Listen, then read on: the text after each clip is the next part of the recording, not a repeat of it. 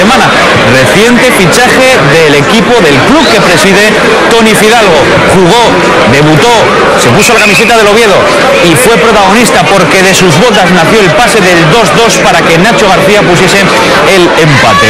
Nuevo fichaje, la llegada, el gol, el punto que rescata el Oviedo cuando parecía todo perdido después del 2-0 es lo que ha sucedido en el partido de esta tarde entre el Guijuelo y el Oviedo. El Guijuelo, un equipo que no ha perdido todavía lo que va de temporada en su campo. El Oviedo no ha ganado lejos del Carlos Tartiere y hoy ha logrado rescatar un puntito. Otra vez en el tiempo de descuento, otra vez en los últimos instantes. Vemos al Oviedo decimos esto, insisto, en la parte bajada de, de sus imágenes, en la parte inferior tienen la clasificación de este grupo segundo. Pesuti lesionado tuvo que ser sustituido por Iván, que también sería protagonista. Estamos hablando ya del minuto 8. Varios seguidores se desplazaron incluso hasta Guijuelo, hasta tierras salmantinas. Primera intervención de Iván en este saque de esquina, enviando el balón a córner.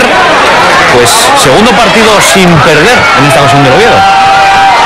Sí, efectivamente, bueno, el segundo partido que, bueno, sí, suma y es importante. Evidentemente, salir de esos puestos bajos de la clasificación y, salir sumando puntos. y mucho más, pues eh, viendo cómo, se, cómo transcurrió el partido y, con el resultado que había muy, cercanos ya al final, ¿no?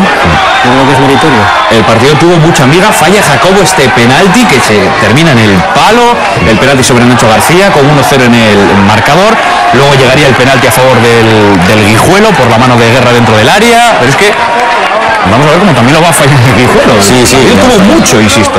Fallaron un penalti cada uno. La verdad que, como tú decías, Ricardo, importante fue Iván, ¿no? Iván tuvo una trascendencia para, para sumar este punto de vida importante, ¿no? Aparte de los goleadores, evidentemente Nacho, que conseguir el gol del empate, pero, pero Iván, pues posiblemente sea el artífice de este punto. Peixao puso el 2-0, parecía que el partido iba a estar o estaba sentenciado, pero apareció Nacho García, tanto del avilesino. Lo mete muy bien, lo mete muy bien porque ya se le había cerrado bastante lo que el ángulo y finaliza con la pierna que además no es la de él, pero, pero empieza bien. La semana pasada fue Pesuti el que salvó un mano a mano con Iván Begoña y hoy ha sido Iván el que ha tenido esa intervención. Minuto 91 de partido es la jugada previa a lo que ha sido el empate a dos.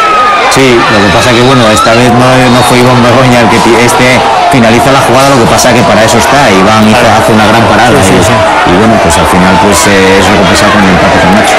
Toño Velázquez, evidentemente tendría que estar satisfecho con este puntito.